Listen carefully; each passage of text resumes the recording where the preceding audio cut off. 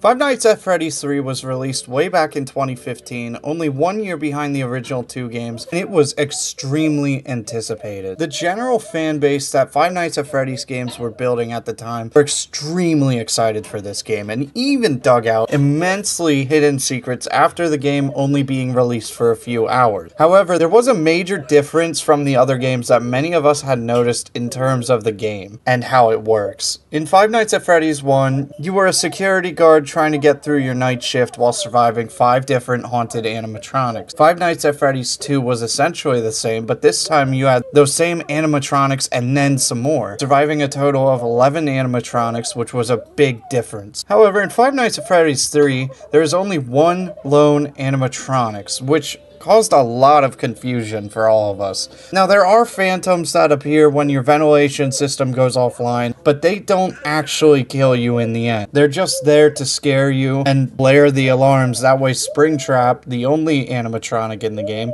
knows exactly where you are. But this was just a massive difference that nobody understood. Why is there only one animatronic? Nobody understood it, that is, until we learned the truth. This isn't just a game where we are surviving possessed spirits that are angry and vengeful stuffed into animatronics. You learn that you are in a real life or death game of cat and mouse with a rotting corpse of a serial killer who is possessing that exact animatronic that is working its ways down the hallway to your door, making that one single animatronic chasing you worth all of those 11 animatronics in the previous game. It made this one animatronic a big deal. Purple Guy is no more. You you are the purple guy, and you just don't know it yet, because you are playing as none other than Michael Afton. There are many theories that explain in Five Nights at Freddy's 3 that you are playing as Michael Afton, and it basically has been confirmed over the years. This makes this game insanely intense. You are the killer's son trying to undo his wrong, trying to survive and destroy your own father after all these years of hunting him, and him preparing for this day by just sitting in a dark room,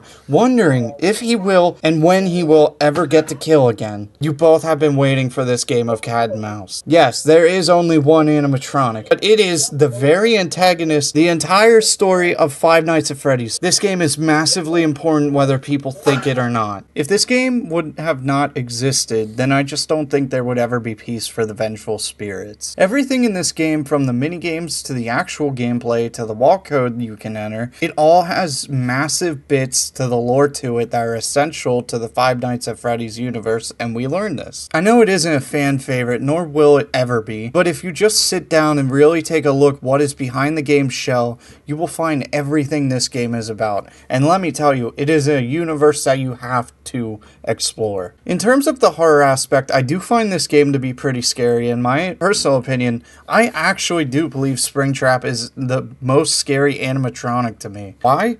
Well, because as I mentioned, this guy in the suit is a 30 year old rotting corpse that caused this entire series to even exist. It causes you to feel many different things, gives you ambition to move from night to night, just to hopefully be able to outsmart him and stay alive, just to be able to burn him down and right his wrongs and undo his doings. Well, guys, there it is. In a review perspective, I must say that if you guys haven't played this game, definitely do give it a try. It truthfully is the best in the series if you are someone who loves lore, because this game is absolutely jam-packed full of it. I know it isn't scary, but hey, who knows? Maybe it is scary to you, and perhaps you'll get some jump scares for yourself. Or maybe you'll just hunt down the lore and just break open the shell that the game actually hides in the background. I hope you guys enjoyed this video, and if you did, why not consider subscribing and leaving a like, as it really helps out my channel a lot and helps me make videos just like this one. Thanks guys, and I hope you have a great day. I'll see you in my next video.